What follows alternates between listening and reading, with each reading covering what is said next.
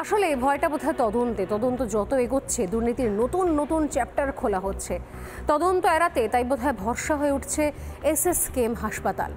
দুর্নীতির অভিযোগে বিদ্ধ নেতা মন্ত্রীরা, বহাল তবিয়াতে এস এস এসএসকেএমে তারা রয়েছেন। দিব্যি খাচ্ছে, ফিরছেন, শুচ্ছেন, ঘুমোচ্ছেন, আর রোগীরা বাইরে গড়াগড়ি খাচ্ছে। নিয়োগ দুর্নীতি থেকে রেশন দুর্নীতি আপাতত শ্রীঘরে।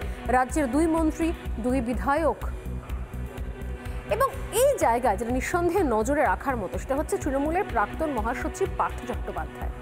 তিনি কোথায়? প্রাথমিক শিক্ষা পর্ষদের প্রাক্তন সভাপতি তথা পলাশীপাড়ার বিধায়ক মানিক ভট্টাচার্য। তিনি কোথায়? মুর্শিদাবাদের বড়োয়ার বিধায়ক জীবন কৃষ্ণ সাহা। কোথায় এনারা? এনারা সবাই রয়েছেন প্রেসিডেন্সি জেলের পহেলা বাইশ নম্বর ওয়ার্ডে। আপাতত তারা বন্দি। সেখানকারই নতুন বাসিন্দা হচ্ছেন বালু মানে জ্যোতিপ্রিয় মল্লিক।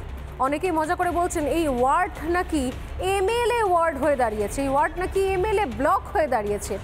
বা বলা ভালো এমএলএ সেল, যে সেলে পাশাপাশি বিভিন্ন অভিযুক্ত বিধায়করা থাকছেন। সতীর্থদের সঙ্গে দেখা, গল্প গুজব, সবই নাকি হচ্ছে দেদার। জেল সূত্রে আরও খবর, মন্ত্রীর সুগারের সমস্যা মাথায় রেখে তার জন্য উপযুক্ত খাবারও প্রস্তুত করা হচ্ছে। তবুও নাকি জেলে থাকতেই চাইছেন না মন্ত্রী মশাই শাসক দলের দাবি চিকিৎসার অধিকার সকলের রয়েছে। কি বলছেন তৃণমূলের সাংসদ শান্তনু সেন?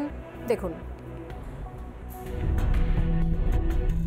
কোনো মানুষ অসুস্থ হলেই তিনি হাসপাতালে যাওয়ার কথা বলতে পারেন, এটা তার মৌলিক গণতান্ত্রিক জন্মগত সাংবিধানিক অধিকার। আর মমতা বন্দ্যোপাধ্যায়ের হাত ধরে পিজি হাসপাতাল ভারতবর্ষের অন্যতম একটা সেরা হাসপাতালে পরিণত হওয়ার পর, সেখানে পরিষেবাগত এবং পরিকাঠামোগত সার্বিক উন্নয়নের পর মানুষ খুব স্বাভাবিকভাবে পিজিতে ট্রিটমেন্ট করতে চায়। হাসপাতালে গেলে সেখানে চিকিৎসকরা তার ইনভেস্টিগেট করবেন ক্লিনিক্যালি এক্সাম করবেন, পরীক্ষা করবেন, তারপর যেটা মনে করবেন চিকিৎসকরা সেটাই হবে। কোনো ইনভেস্টিগেটিং এজেন্সির অধীনে থেকে সে অসুস্থতার কথা বলে, তার তাহলেও তাকে চিকিৎসা করতে না দেওয়াটা খুব অনৈতিক কাজ। প্রথম থেকে মানুষের কণ্ঠস্বর হয়ে, আপনাদের কণ্ঠস্বর হয়ে আপনাদের ব্যথা, বেদনা, যন্ত্রণা, বঞ্চনা আপনাদের নিপীড়ন নিয়ে আমরা প্রশ্ন করে যাচ্ছি, চোখে চোখ রেখে। সে প্রশ্ন তো করে যাবই। রিপাবলিক নেটওয়ার্কের কাছে দেশ সর্বোপরি।